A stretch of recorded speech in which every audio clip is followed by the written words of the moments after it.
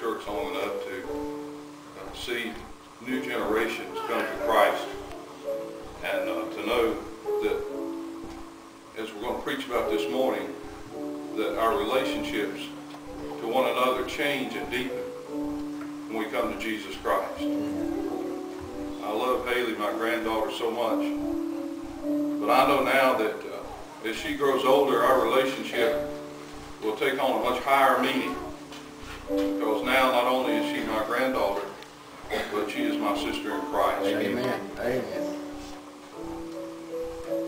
Hayleigh Danielle Houston, upon your profession of faith in Jesus Christ and in obedience to him, it is my privilege, my sister, to baptize you in the name of the Father, and of the Son, and of the Holy Spirit. For we're buried with him in baptism. Thank We you. rise to walk. Amen. Amen.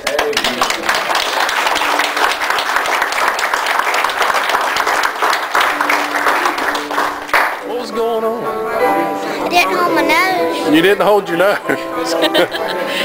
was you nervous? Nope. Were you, you weren't nervous? Didn't go up my nose either. Well, that's good. Would you get real wet? How'd you get your hair dry so quick?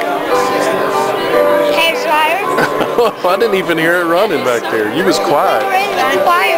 Oh, were you? Oh, so you changed in there. Was it chilly? No, I changed there and we went to the choir room and dried my hair. Oh, okay. Well, that's cool.